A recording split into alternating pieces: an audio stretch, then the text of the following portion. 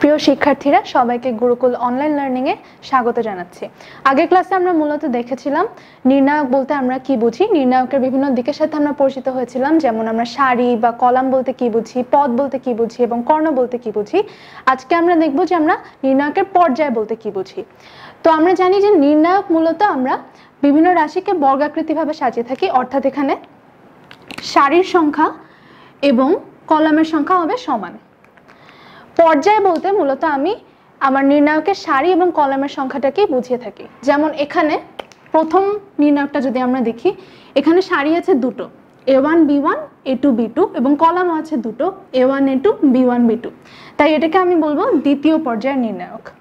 এবং পরবর্তীতে আমি যদি এখানে আসি, তাহলে আমরা দেখব এখানে সারি আছে তিনটি A one B one C one A two B two C two এবং A three B three C three আবার অন্যদিকে কলামও আছে তিনটি।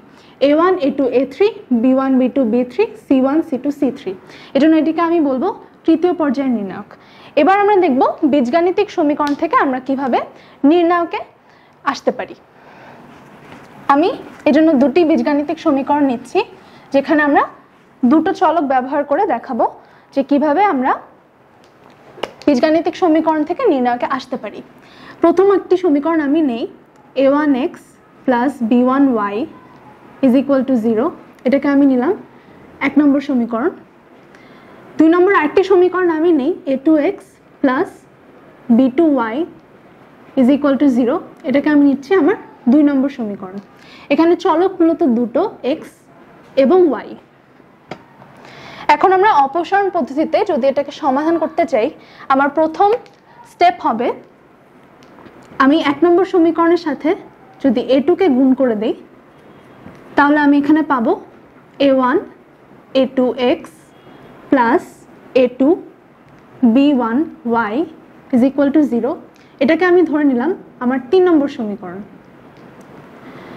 দুই নম্বর সমীকরণের সাথে যদি আমি গুণ করে দেই এ ওয়ানকে তাহলে আমি পাচ্ছি A one A two X plus A one B two Y is equal to zero এটাকে আমি ধরে নিচ্ছি চার নম্বর সমীকরণ হিসেবে।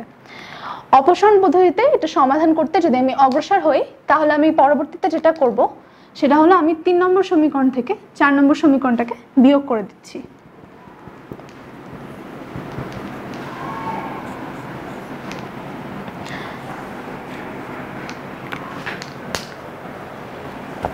এখানে কি হচ্ছে? যদি আমি তিন নম্বর থেকে চার নম্বরটাকে বিয়োগ করে দিই। তিন নম্বর থেকে চার নম্বর যদি আমি বিয়োগ করে দিই, তাহলে আমি দেখতে পাচ্ছি দুটি একই রকমের পদ এখানে আছে। A one A two X A one A two X এই দুটো বিয়োগ হয়ে কাটাকাটি চলে গেল। এবং তারপরে আমার যেটা বাকি থাকে, সেটা হচ্ছে A two B one Y minus A one B two Y এখান থেকে আমি যদি ওয়াইটাকে কমন নেই, তাহলে আমি পাচ্ছি A two B one minus A one B two is equal to zero অর্থাৎ A two B one minus A one B two times Y is equal to zero এই সমীকরণটা আমরা পাচ্ছি। এই সমীকরণকে আমরা দিলাম নম্বর পাঁচ। পাঁচ নম্বর সমীকরণ থেকে আমরা যদি আবারও আগাই, তাহলে আমরা কি দেখি?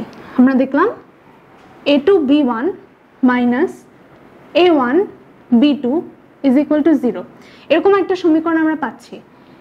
এই সমীকরণটিকে আমরা যদি নির্ণায়ক আকারে লিখি,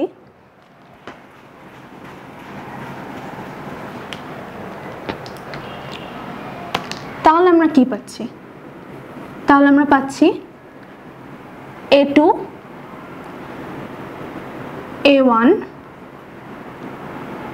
এবং B two B one is equal to zero আমরা যদি এটাকে বিস্তার করে দেখি, অর্থাৎ দুটো কর্ণ বরাবর যদি আমরা যাই এবং এই পদগুলোকে আমরা বের করি, আমরা যদি প্রধান, প্রথম পদটা বের করি, তাহলে আমরা পাচ্ছি বিস্তার করে A two B one minus A one B two অর্থাৎ আমরা এই সমীকরণে ফেরত আসতে পারছি। তার মানে এই সমীকরণ থেকে আমরা যদি এক্স এবং ওয়াই এই দুটো চলককে অপসারণ করি, তাহলে আমরা নির্ণায়ক আকারে এই সমীকরণটাকে প্রকাশ করতে পারব। পরবর্তীতে আমরা দেখব তৃতীয় পর্যায়ে নির্ণায়ক বলতে কি বোঝায়। সবাইকে ধন্যবাদ।